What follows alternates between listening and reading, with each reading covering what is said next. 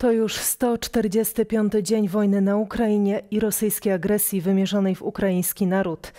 Rosjanie ostrzelali miasto Toreck.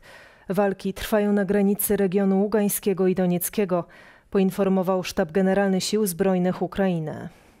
Z samego rana Rosjanie ostrzelali miasto Toreck w obwodzie donieckim. Śmierć poniosło sześć osób. Rosjanie ostrzelali dziś elewator zbożowy w obwodzie dniepropietrowskim. Zniszczono ponad 5 tysięcy ton zboża. Siły rosyjskie uderzyły również w podwórze szkoły. Uszkodzono fasadę i dach placówki. Wybitych zostało ponad 50 okien. Jak poinformował szef władz tego regionu, w zaatakowanych miejscowościach nie było żołnierzy. Tak wygląda ostrzeliwana od wielu tygodni dzielnica Saltivka w Charkowie. Tymczasem amerykańska stacja CNN podaje, że Rosjanie wzmacniają swe wojska na południu, gdzie Ukraińcy prowadzą kontrofensywę. Rosjanie wysyłają też do walki mieszkańców okupowanych od niedawna miast w obwodzie ługańskim. Ponad 3000 pocisków manewrujących zastosowali do tej pory Rosjanie przeciwko Ukrainie, poinformował prezydent Wołodymir Załęski. Niemożliwe jest zliczenie artyleryjskich i innych pocisków, które zastosowano przeciwko naszemu krajowi i naszym ludziom, ale na pewno możliwe jest pociągnięcie do odpowiedzialności wszystkich rosyjskich zbrodniarzy wojennych, każdego z kolaborantów, wszystkich, którzy są odpowiedzialni za terror, za wszystko, co dzieje się 145 dni i ponad 8 lat. To będzie zrobione. Minionej doby siły ukraińskie wyeliminowały na południu Ukrainy kolejnych 36 rosyjskich żołnierzy.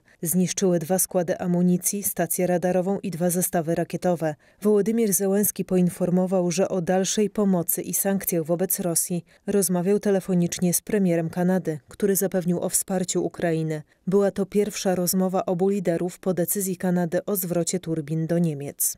Говорив сьогодні з прем'єр-міністром Канади. Oczywiście rozmawialiśmy o naszej współpracy i podziękowałem mu, podziękowałem Kanadzie za wsparcie, ale osobno podkreśliłem, że Ukraińcy nigdy nie zaakceptują decyzji Kanady w sprawie turbiny Nord Stream, które postanowiono przekazać Niemcom z naruszeniem reżimu sankcji.